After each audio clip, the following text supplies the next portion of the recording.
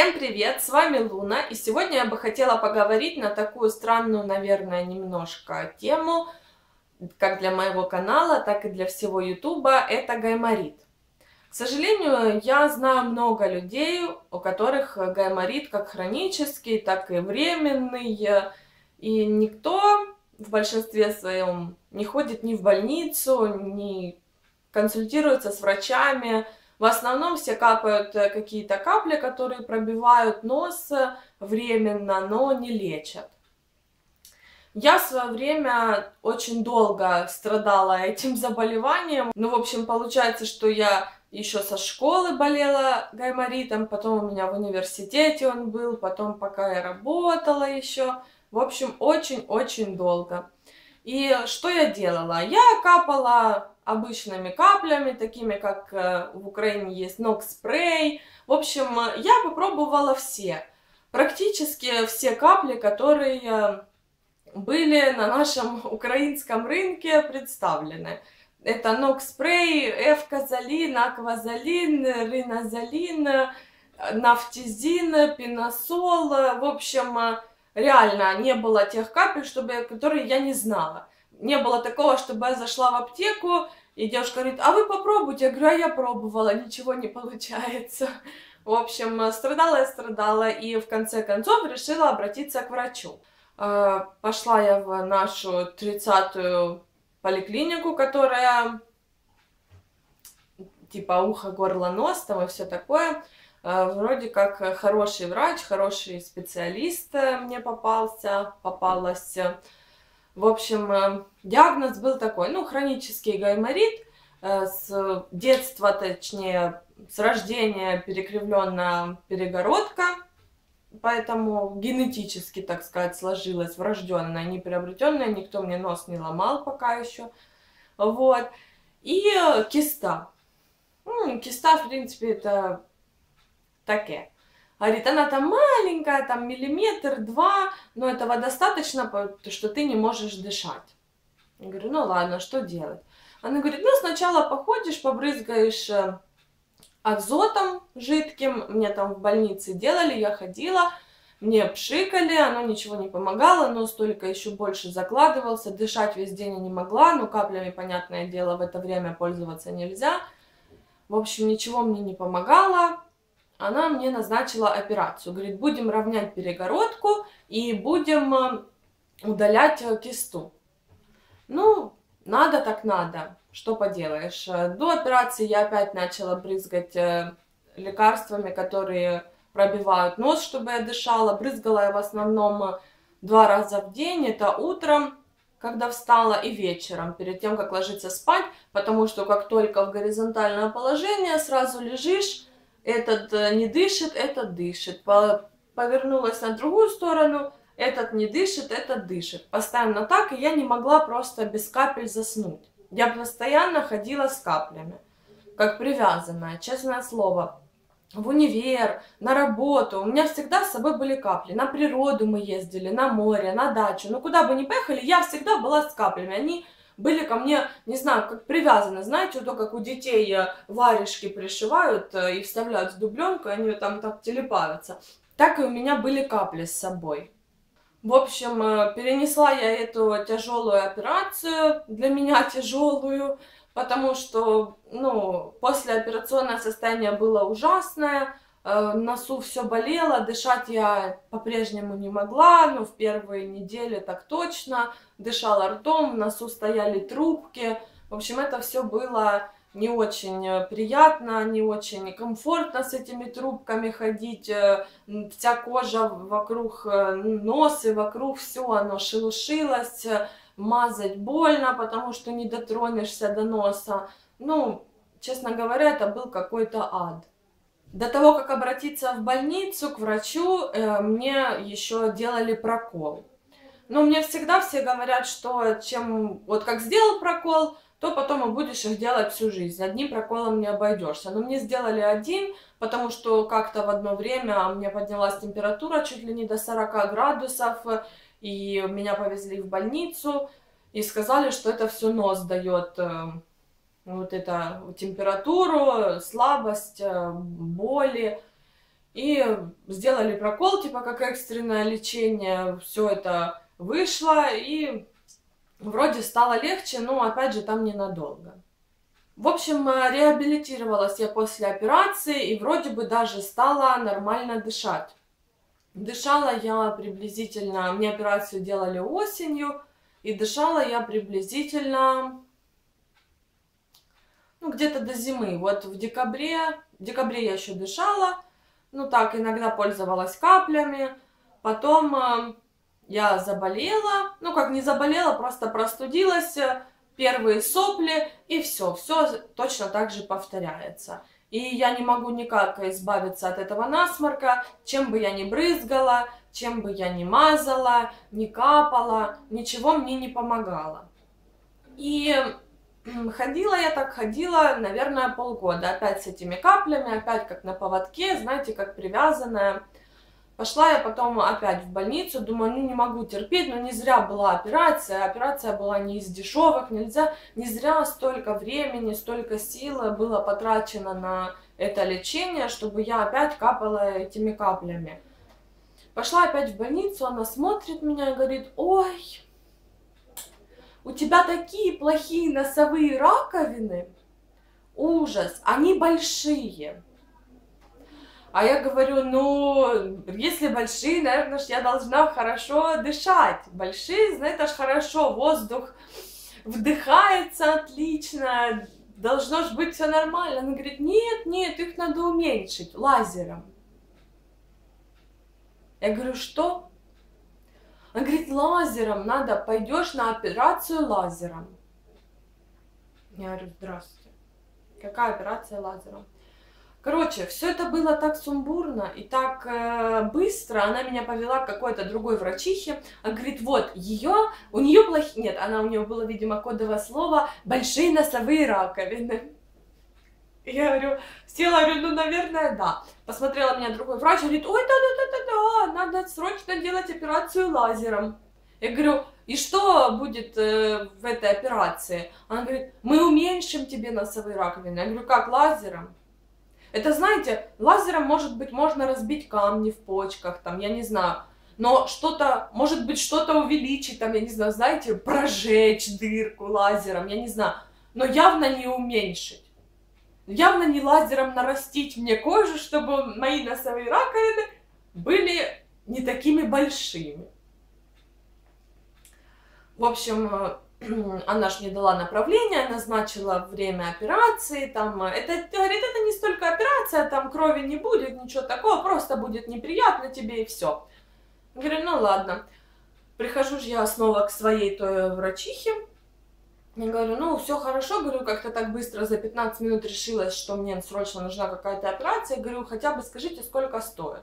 На что она мне говорит, ой, да какая разница, сколько стоит? Говорит, тебе что, папа не оплатит? Вот тут у меня вообще ступор. Думаю, а, папа мне не оплатит. Видимо, хорошо поблагодарили тебя за ту операцию. Заплатили, все лекарства все покупали, все ж, наверное, ж, как бы поблагодарили. Э, и тут она поняла, что то что, папа не заплатит. Думаю, да, вы там, видимо, скооперировались и решили еще денежек поиметь. А после того, как э, моя логика, в принципе, не воспринимала уменьшение носовых раковин лазером, я поняла, что вообще это чистый был развод. Я развернулась, ушла, ни на какую операцию я, конечно же, не пошла с этим лазером.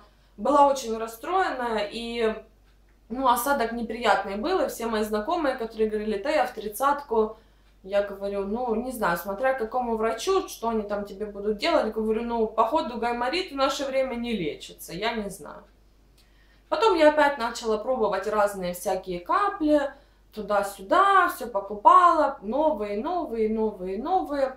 И даже биопороксом брызгала, не знаю, может быть, кому-то помог биопороксом. Бывают и такие случаи, у меня знакомому помог реально биопорокс, и все хорошо. Но в один прекрасный день, так, кстати, я забыла предупредить, это просто история моя о том, как я а, поборола, так сказать, гайморита. Просто я не хочу, чтобы кто-то, кто посмотрит э, данное видео, воспринимали это как, знаете, руководство к действию, нужно срочно бежать в аптеку, срочно это покупать, срочно вот действовать только, как сказала я. Нет, э, ни в коем случае самолечение вредно для вашего здоровья, или как у нас самоликование шкидливо для вашего здоровья. И поэтому ни в коем случае я просто рассказываю свою историю, и я не врач, я не буду советовать, я не могу советовать, и я не могу настаивать на том, чтобы вы это сделали. Просто если вдруг э, кто-то посмотрит видео, кто совсем отчаялся, как и я, кто прошел уже семь кругов ада, чтобы выздороветь и вылечить э, эту ужасную болезнь, которая мешает э, во многом жить, и вы еще не пробовали этот способ, то и вам уже нечего терять, если вы уже и операция у вас была, или вы у врача были, у специалиста, и вам реально ничего не помогает, вот как мне, вот я не знаю, у меня какой-то был безнадежный случай по этому гаймориту, мне казалось мне с ним жить а потом всю свою просто дальнейшую жизнь до глубокой старости. И я уже от безысходности пробовала все, что советовали все люди, которые меня окружали, которые, у которых тоже гаймориты, которые то то делают, то то, то то. Кому-то помогает промывание, кому-то помогает кукушка, кому-то помогает э, вот эта соленая морская вода, кому-то помогает прокол, кому-то поможет операция. Если вам совсем ничего не помогло, и э, тот, тот состав лекарства, который я сейчас расскажу, как я делала, может быть, он поможет вам, но перед этим обязательно же нужно почитать противопоказания. Возможно, вам этот препарат нельзя использовать, он вам не подходит по, по, по тем или иным причинам. Поэтому будьте аккуратны, я ни в коем случае не советую, я просто рассказываю. Потому что даже среди моих знакомых есть такие безнадежно больные гайморитом люди, которые уже испробовали все, как и я, вплоть до операции, и ничего не помогало.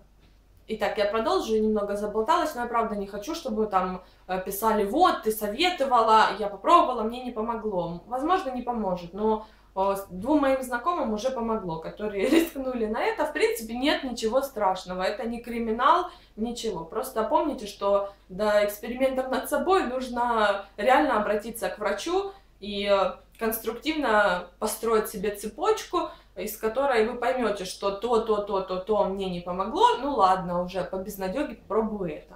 Я насчет этих экспериментов вообще никогда не боюсь, поэтому, когда в один прекрасный солнечный день я зашла в аптеку и говорю, девушка, дайте мне что-нибудь, что вылечит мой гайморит.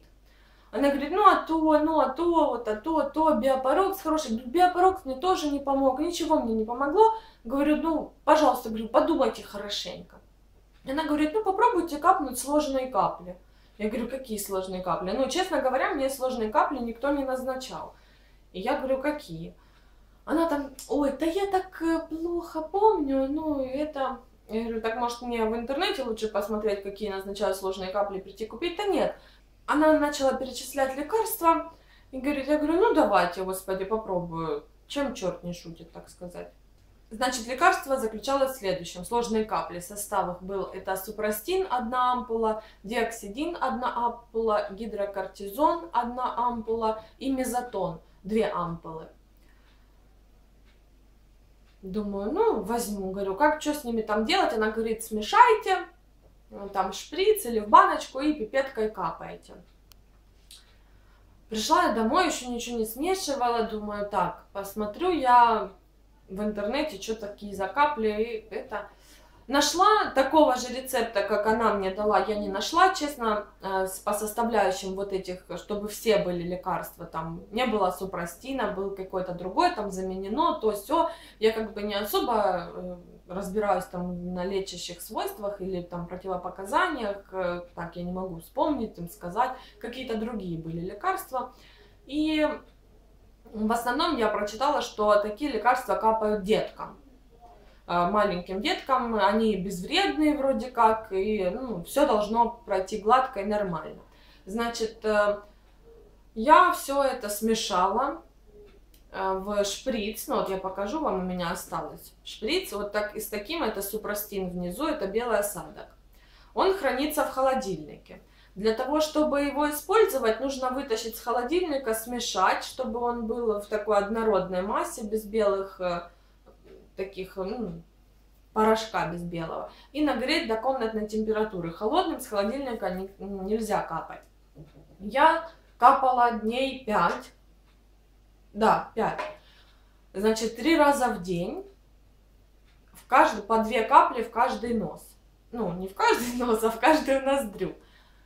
Первый день я думала, я умру, не могла дышать, э, меня все так вот трусило, я все думаю, блин, все, не могу, сейчас капну своим ног спреем любимым, и все. И все, я буду дышать, все будет хорошо, лучше я буду ходить с ног спреем, чем сейчас умру просто без воздуха. Но перетерпела, на второй день уже стало намного лучше.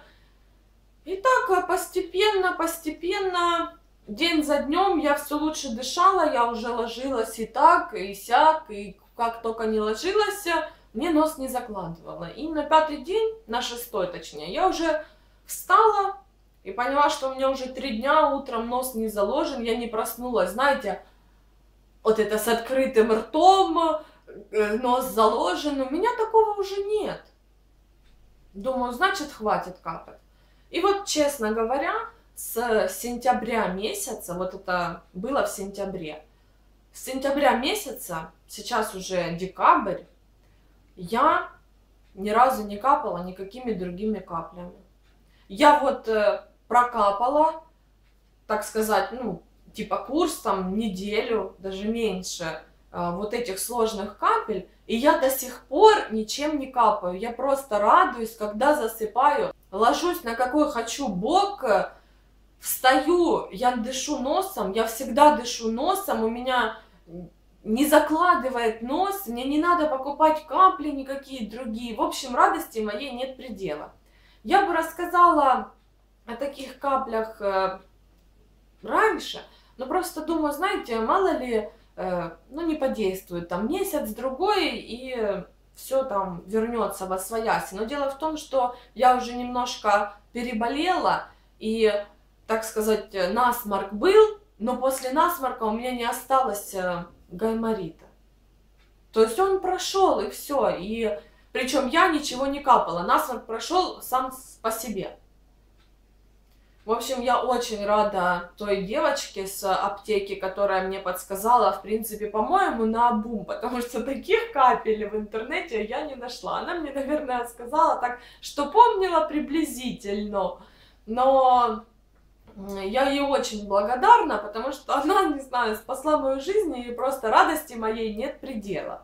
Поэтому, если вы уже испробовали все методы лечения гайморита и готовы уже сдаться и смириться с тем, что вам всю жизнь придется покупать какие-то капли, которые просто пробивают, и у вас уже, знаете, опустились руки, вы уже все перепробовали, то вы можете пойти в аптеку и испробовать на себе вот данное лекарство. Но, честно говоря, радости моей просто нет предела. Я очень рада, что я дышу. Всем спасибо за просмотр. Я надеюсь, информация была кому-то, возможно, полезна, интересна, познавательна. И если кто-то после этих капель решится это сделать, э, и после этих капель выздороветь, пишите обязательно в комментариях. Э, я буду рада знать, что помогла каким-то уже безнадежно больным гайморетикам. В общем, всем спасибо за просмотр. Будьте всегда здоровы. Ищите себе хороших врачей-специалистов, добрых, э, отзывчивых, которые любят помогать людям, а не деньги. Всем еще раз спасибо. Всем пока.